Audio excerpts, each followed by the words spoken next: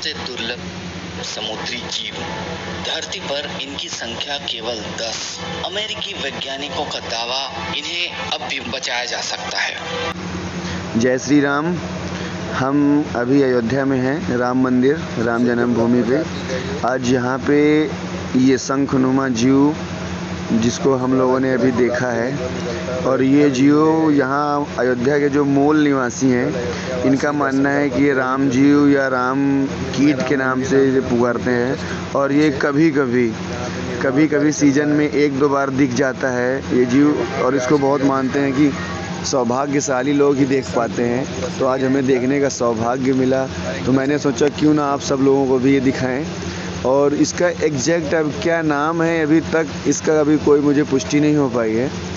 तो इसका नाम मैं गूगल में भी कई बार ट्राई कर चुका हूँ, लेकिन अभी तक कोई वैसा रिस्पॉन्स संतोषजनक मिला नहीं।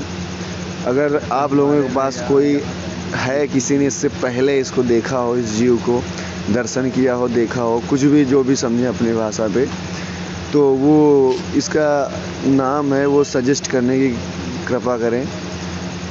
हम अभी भी हम लोगों का निरंतर कोशिश जारी है। इसका जैसे ही नाम पता चलेगा हम आपको वो करेंगे और जिसको पता चलता है वो कमेंट बॉक्स में प्लीज़ बताएँगे। ये जीव है क्या? ये कौन सा जीव है? ये शंखनुमा जीव है। हम्म, ओके सभी लोगों को अब हमारा जय श्री राम जय श्री कृष्ण जय जय श्री राम। और अयोध्या आइए एक बार आप लोग भी दर्शन करिए ज़रूर।